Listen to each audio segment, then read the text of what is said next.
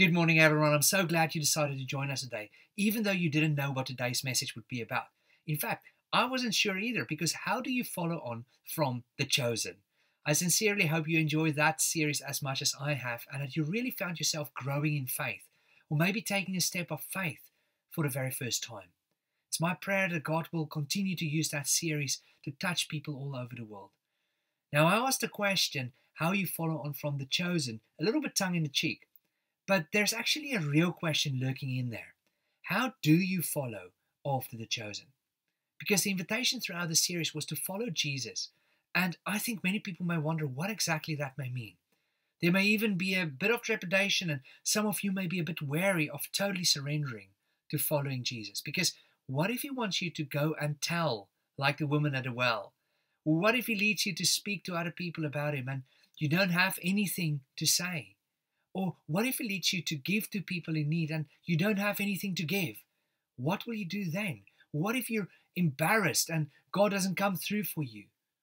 Friends, these are real concerns and they can easily stop you from following Jesus as fully as you want to. However, what I've discovered is that when God calls you, He also equips you. In fact, He promised in Matthew 10, and don't worry about what you'll say or how you'll say it, the right words will be there the Spirit of your Father will supply the words. You know, ever since I started preaching more than 20 years ago, I've had this worry at the back of my mind what if I have nothing to say? What would happen if I just cannot hear God and I do not have anything to share on a Sunday? And that's quite a scary thought for me. In fact, I've had some nightmares about it. However, despite that fear, the God who called me to his service has always provided me with everything I needed to do what he called me to do. He's always equipped me sometimes in miraculous ways.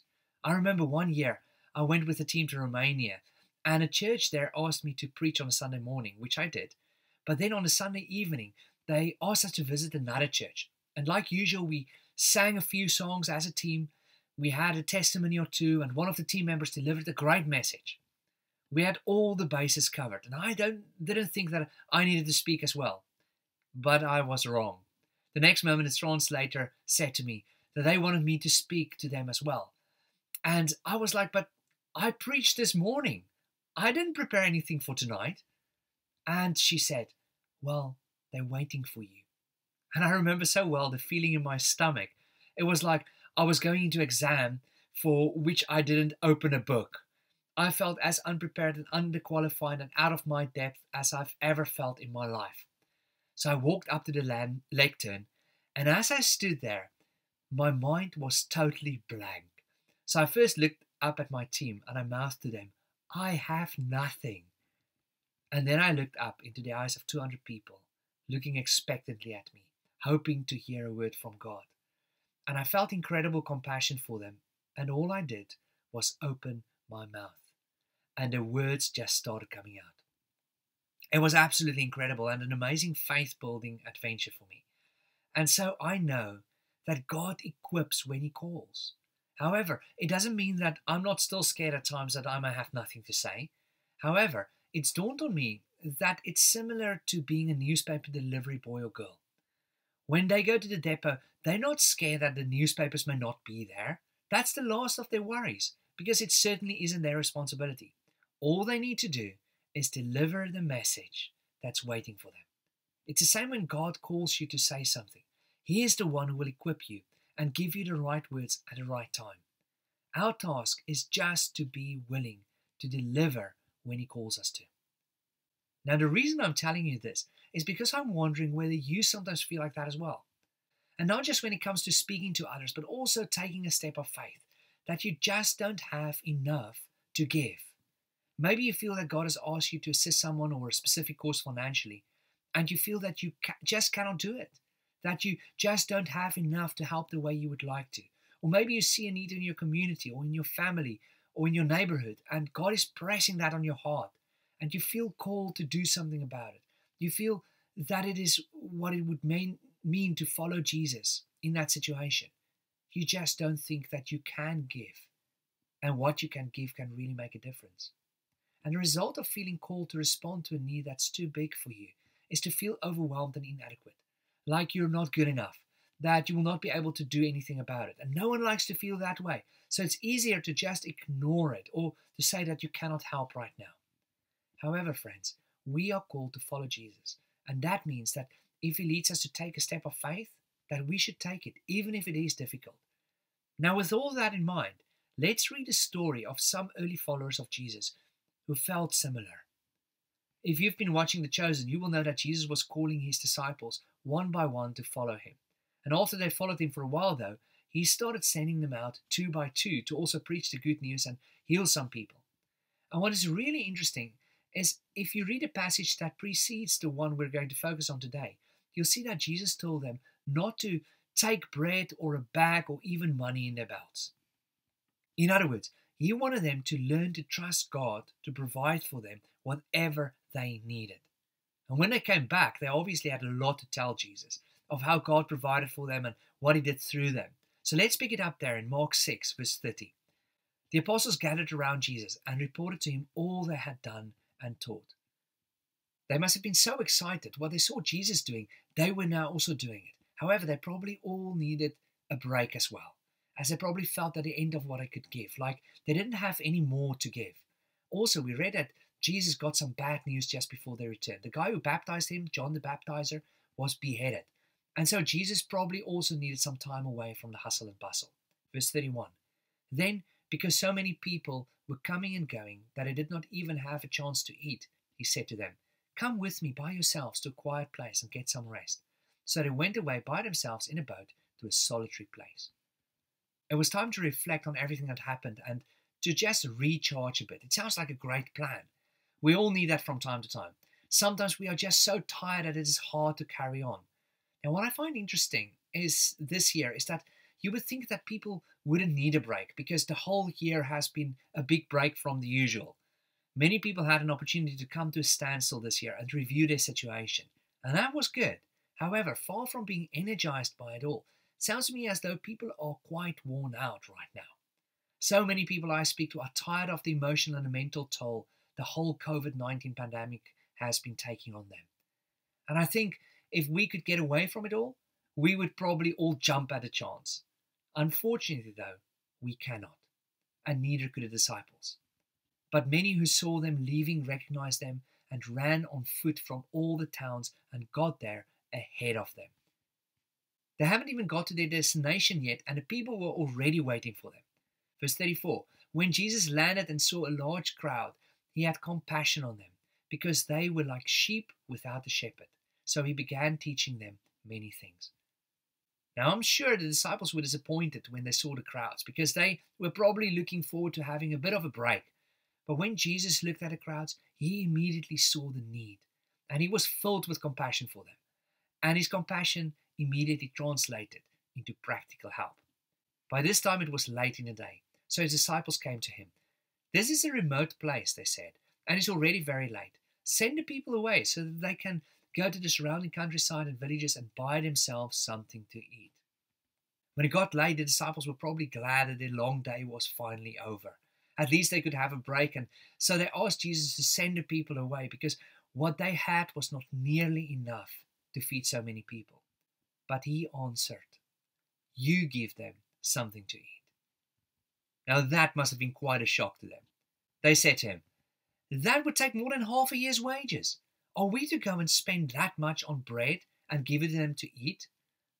Now, at this point, what you need to remember is that they just returned from a trip where they didn't take any bread along, yet God provided everything they needed. Yet when they saw all the people, they didn't think of how God provided in the past. They just thought of how difficult it would be to feed all those people. They looked at the problem instead of at their provider. And it's here that our lesson for today starts because I believe that the rest of the story gives us a few powerful questions that if we incorporated it into our thinking, that it would change our perspective when we feel we have nothing to give, when we feel we've run out of resources to help other people and do what God is calling us to do. So here's the first one. Question one What do you have? The disciples had quite a strong and actually a bit of a sarcastic response when Jesus told them to feed the people. It's like, have you seen how many people are listening to you? Six months' salaries would not be enough to feed all of them. Are you sure you want us to do that? However, Jesus was not bothered by their reaction. He still wanted them to learn something. And so he asked them very simply, How many loaves do you have? He asked. Go and see. In other words, don't focus on what you can't do or what you don't have. Tell me what you do have. When you feel you're at the end of what you can handle, and God asks you to do what looks impossible for you to do, the next question for you is Tell me what you do have. Friends, this is similar to the question God asked Moses when he was called as well. It looked pretty impossible for Moses to go and speak to the Pharaoh and lead his nation out of captivity in Egypt. And so, when he protested, God simply asked him, What's in your hand? Translated, Don't tell me what you cannot do. Tell me what you do have. As it turned out, it was his staff. And through that staff, God did quite a few miracles. And therefore, this is a very powerful question when Jesus asked his disciples, What do you have? So, can I just ask you the same? What do you have? Lord, I cannot help all those people in need because there are so many people struggling without food. There are so many people who do not have adequate sanita- sanitation. There are so many people who are dying because of a lack of clean water. Uh, there are so many people who are scared and fearful and depressed. Uh, what can I do? Lord, the problems in my family is so big. How can I possibly be of help to anyone? Lord, I've been hurting so much. I, I just don't think I have what it takes to forgive them for what they did to me. Friends, when you feel tired and worn out and overwhelmed by the situation you're facing, the situation God is calling you to, stop thinking what you can't do or don't have and start asking a powerful question What do you have? What can you do? Maybe you don't have millions of extra cash lying around, but you can spare an extra 50 or 100 pounds per month to help people who do not have food to eat. Maybe you don't have the psychological skills needed to help people in your family overcome what they are struggling with but you can support them and you can show them unconditional love. Maybe you don't always know what to say to people who are fearful of the future, but you can be an agent of hope rather than an agent of despair. Maybe you cannot go back and change the past, but you can forgive those who hurt you and thus let go of the hatred and the bitterness that has been engulfing you. Friends, stop looking at the problem and start looking at your provider because He's ready to use whatever you are willing to entrust to Him. Which brings us to the second powerful question Are you willing to give what you have to Jesus? After the disciples gathered some information, they came back and they said, when they found out, they said, five and two fish. In John's account of the same story, we hear that it was a boy who gave them the loaves of bread and the fish. Now, this boy could have kept it for himself and he would have had a pretty decent dinner. But he didn't. Think about it. In a crowd of that size, which we discovered later on would have been around 10 to 15,000 people when you counted the women and the children as well, there probably was more than just one little boy who had some food with them. However, he was the only one who was willing to give it to Jesus. He was willing to place everything he had in Jesus' hands. And so here's my question for you are you willing to give whatever it is that you have to Jesus? Whether that be your resources, your talents, or your skills. Are you willing to do whatever you can for His honor and His glory? I mean, you can keep it all to yourself and enjoy a pretty decent dinner, a pretty nice and very comfortable life. Or you can place it in Jesus' hands. You can trust Him with it and see Him bless thousands of people through it. It's not enough to just know what is in your hands. You've got to be willing to surrender it to Jesus. Then Jesus directed them to have all the people sit down in groups on the green grass. So they sat down in groups of hundreds and fifties. Taking the five loaves and the two fish and looking up to heaven, he gave thanks and broke the loaves. Jesus did something here that's mentioned in several other places, like the time when he raised Lazarus from the dead and that is before the miracle occurred. He looked up and he thanked God in advance, before it happened. So here's the question Do you thank God before or after the miracle? Unfortunately, many people don't even thank God after a miracle either. But the point I want to make is that Jesus was so in tune with his Heavenly Father and he trusted him so completely that he thanked him in advance. Now, friends, I'm not saying that a miracle you're waiting for is going to happen in the way you want it to happen when you want it to happen. We don't know that. But I do know that God wants us to trust Him with it. He doesn't want us to pray half heartedly, but He wants us to approach Him expectantly, trusting that He will do precisely what is best. Which brings us to another interesting observation about the disciples' behavior at this stage. Maybe they remembered something of what occurred previously, that whenever Jesus was in control, miracles seemed to happen. Either way, they did exactly what he told them to do. They made all the people sit down in groups, and then he gave them to his disciples to distribute to the people. He also divided the two fish among them all. Now remember, at this stage, the miracle has not occurred yet. They just saw Jesus break what was given to him, and yet they did exactly what he told them to do. They may have thought they'd look stupid handing out five loaves and two fishes to thousands of people. They may have thought they'd be embarrassed. However, they still did exactly what he told them to do. They trusted him fully. Friends, will you do that? Will you act even before the miracle occurred? Sometimes we need to start moving before we will see what God is doing. We need to take a step of faith. And that means we will not always see how everything will fit together. We will not always understand. And sometimes it may not even make sense logically to us.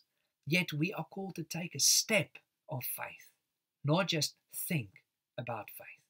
We are called to act. So, friends, maybe there's something you need to do. Maybe it will take you to pick up the phone and speak to that person whom you haven't talked to for years. Maybe you need to forgive someone, or maybe you need to contact someone and ask for forgiveness. Maybe you need to enroll in a course, or maybe you need to phone a counselor. Maybe you need to get involved with the issue that has been pressing on your heart for so long. It may be time for you to stop thinking about a miracle and start doing what God is calling you to do. Which brings me to the last question or the last lesson from this story. Do you expect God to provide in abundance? I think we sometimes have very low expectations of God because we don't want to set ourselves up for disappointment. However, what has struck me as I have witnessed some of the miracles Jesus did through the Chosen series is just how abundant and exuberant Jesus' miracles was. When the leper asked for help, Jesus healed him fully and immediately. When the paralyzed guy was brought to Jesus, he didn't just make him feel better, he made him walk and he forgave his sins. He freed Mary. He provided for Simon. He gave Matthew a whole new life. And when he changed water into wine, he didn't stop with a jug or two. He changed hundreds of liters of water into wine. He provided whatever was needed in abundance. And the same thing happened with the five loaves and two fishes. They all ate and were satisfied, and the disciples picked up twelve baskets full of broken pieces of bread and fish. The number of the men who had eaten was five thousand. Jesus made sure there was enough for everyone. They could all eat until they were satisfied, until they had enough, and afterwards, when they picked up all the pieces, they had 12 baskets full. Now, I find that incredibly significant because how many disciples were there? 12. One whole basket full of food for each one of the disciples, even when they had nothing to start with. It was like Jesus was saying to them, and maybe to you today as well even if you have nothing left to give, I will provide for you what you need, and I will provide in abundance. When God calls, He equips. Friends, I want to invite you to trust God with whatever you are struggling with right now. He knows the challenges you are facing. He knows that you may be tired and worn out right now, that it feels as though you cannot take another step. He sees you and He wants to be involved in your life and help you and give you strength for whatever it is that you are facing. So stop relying on yourself and your own plans and put your trust in Him, trusting that He will lead you and that He will provide for you whatever you need. And therefore, just think of the situation you are in right now and ask these five powerful questions and see what answers come up in your heart. What do you have? Are you willing to give it to Jesus? Will you thank Him even before the miracle occur? Will you act before the miracle occur? And do you expect God to provide in abundance for you? Friends, may God use these five questions to change your perspective as He works a miracle in your life. Amen. Dear Lord, thank you so much that you are inviting each one of us to follow you and to trust you, even with the little we have. Lord, you know that we so often feel we're running on empty, that we just don't have the strength to make a difference anymore. Thank you that we can read a story like we did today and know that we are not called to do the miracle, only to bring our five loaves and two fishes and trust you with it. That is what we want to do today. Lord, what we have, we give to you. Please use it and please use us the way you want to. In Jesus' name we pray this. Amen. Please receive God's blessing and trust Him with whatever you have. May the grace of our Lord Jesus Christ and the love of God our Father and the fellowship of the Holy Spirit be with you all.